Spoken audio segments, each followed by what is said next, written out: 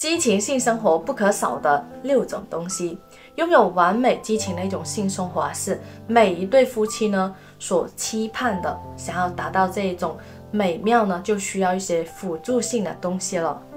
在这里呢，就告诉夫妻朋友们啊，激情性生活呢不可缺少的七种东西。第一点呢，就是一个亲昵了。中国夫妻呢，大多都是比较羞涩的。觉得呢，亲昵就是一种黏糊的表现，但研究显示呢，就是拥抱、亲吻等表达一种亲昵的一种行为是婚姻的一个必需品了。日本爱妻家协会呢就发起过一个拥抱妻子计划，要求丈夫呢每天给妻子的几个拥抱，包括呢每天出门时的一种常规拥抱。在等车、等红绿灯的一种时间来伺机的拥抱，从背后拥抱，搂着腰紧贴在一起的一种温情拥抱。第二点就是一个情话了。有研究表明呢，夫妻间啊每天至少呢需要说三句情话，比如说我爱你、我想你、我喜欢你等等等等了。对着爱人的一种左耳甜言蜜语，更能够打动对方哦。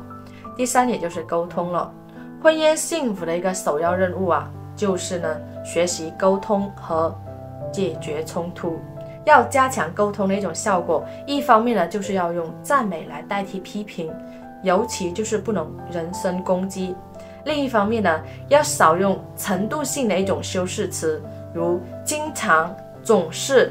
此外呢，沟通就要避开身体。啊，疲倦、饥饿、生病，或者是工作繁重等四个时间段，不然呢就会影响一个效果了。第四点就是一个幽默了，幽默能够化解呢缓冲矛盾、消除隔阂。幽默包含了很多的信息，爱妻子、哄妻子开心、赞美妻子啊，接收到这些信息以后，心情自然就是多云转晴了。第五点就是一个浪漫了。浪漫呢未必是鲜花美酒，必须呢以金钱来代替，其形式还是丰富多彩的。主要的一个内涵就是为伴侣做他喜欢的事情，比如说妻子喜欢看电影，丈夫呢能够耐得住性子来陪她看完一场电影，这一种就是一个浪漫了。丈夫夜班回家，妻子开着卧室的灯等待，并端上一碗热乎乎的粥。这也是一种浪漫。第六点就是一个童心了，多保留一点啊天真单纯，多拥有一点爱好好奇心，对提升婚姻的一个幸福感是很重要的。拥有童心的人，生活会更加的轻松，心境更加的快乐，也更善于发现了生活中的一种趣事。回家后啊，大门一关，夫妻夫妻俩呢，不妨学一学小孩子，常玩一些游戏。